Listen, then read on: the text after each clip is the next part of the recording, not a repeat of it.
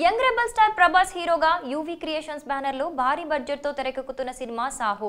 Young director Sujeeth దర్శకత్వంలో ఈ cinema universal కథాంశంతో రూపొందుతుంది.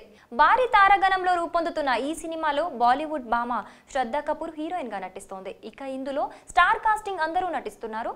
Telugu తమిళ హిందీ భాషల్లో ఏకకాలంలో ఈ సినిమా రిలీజ్ చేయడానికి చిత్ర నిర్మాతలు రెడీ అవుతున్నారు.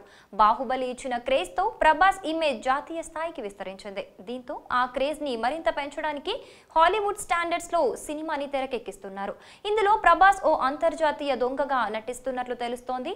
ఇదిలా ఉంటే ఈ సినిమా భారీ బడ్జెట్తో తెరకెక్కుతూ ఉండటంతో రిలీజ్కి ముందే పెట్టిన పెట్టుబడికి తగ్గట్లు బిజినెస్ చేయాలనే ప్లాన్తో చిత్ర నిర్మాతలు ఉన్నారు. అందుకోసం ఇప్పటి నుంచి శాటిలైట్ రైట్స్ని అమ్మడానికి పెట్టారు. దానికి తగ్గట్టే శాటిలైట్ రైట్స్ కోసం పెద్ద పెద్ద ఛానల్స్ అన్ని పోటీ పడుతున్నాయి. నిర్మాతలు శాటిలైట్ రైట్స్ కోసం ఏకంగా డెబ్బై కోట్ల వరకు డిమాండ్ చేస్తున్నట్లు తెలుస్తోంది. అయితే ఛానల్స్ మాత్రం యాభై కోట్ల వరకు ఇవ్వడానికి రెడీ అవుతున్నాయని సమాచారం. అయితే ఈ విషయంలో నిర్మాతలు వెనక్కి తగ్గటం లేదని చెప్పిన రేటుకు ఇచ్చేవారికే రైట్స్ ఇస్తామని చెబుతున్నట్లు తెలుస్తోంది. ఈ నేపథ్యంలో ఛానల్స్కి నిర్మాతలకి మధ్య బేరసారాలు జరుగుతున్నాయని తెలుస్తోంది. అయితే సాహో సినిమా శాటిలైట్ కోసం నిర్మాతలు అడుగుతున్న డెబ్బై కోట్లు చాలా ఎక్కువ అని చెప్పాలి.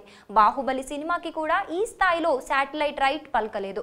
నిజంగా యూవీ క్రియేషన్స్ వారు ఆఫర్ చేసిన రేటుకి ఛానల్స్ కొనడానికి ముందుకొస్తే ఖచ్చితంగా టాలీవుడ్లో అత్యధిక ధర పలికిన సినిమాగా సాహో నిలిచిపోయింది అనడంలో ఎలాంటి అతిశయోక్తి ఉండదు. మరి ఇది ఎంతవరకు సాధ్యమవుతుంది అనేది తెలియాలంటే వేచి చూడాల్సిందే.